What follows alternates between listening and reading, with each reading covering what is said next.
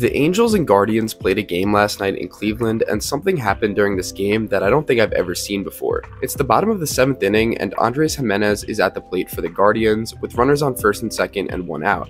The 0 1 pitch from Ryan Tepera came close to hitting Gimenez on the foot. I've seen the replay a few times, and honestly, I can't tell. At first, I thought the ball bounced over his foot.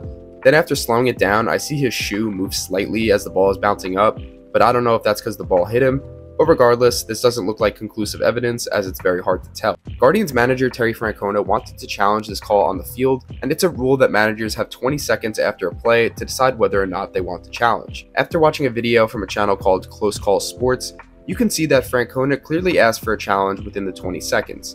However, home plate umpire Ron Kulpa was saying that Francona took too long and he wasn't able to challenge the play anymore. Francona was irate, got ejected, and proceeded to scream in Kulpa's face after the ejection. Several coaches and other umpires needed to hold him back and escort him off the field so Terry is gone. Now is where things get interesting, because while all of this is going on, Angels pitcher Ryan Tepera is just standing there waiting for the game to resume. When there is a delay like this, pitchers are usually allowed some warm-up pitches before getting back into the flow of the game. But when Tepera tried to throw his pitches, Ron Kulpa started losing his shit. He was probably taking some anger out on Tepera after Francona was just screaming in his face seconds before this, but that still doesn't make it right to instigate an argument, so Angels manager Phil Nevin came out to stick up for his pitcher, and then he got ejected. So both managers were ejected before the next pitch was even thrown. Ron Kulpa has been known for going on power trips in the past, so this is kind of just adding to his bad resume. First, he denied Francona a challenge that he was allowed, and then for some reason he started another argument out of nowhere when the pitcher was simply just trying to warm up again. But the baseball gods got back at Kulpa in this game because during the ninth inning, he took a foul ball off the dome and had to leave. So I guess everyone's even,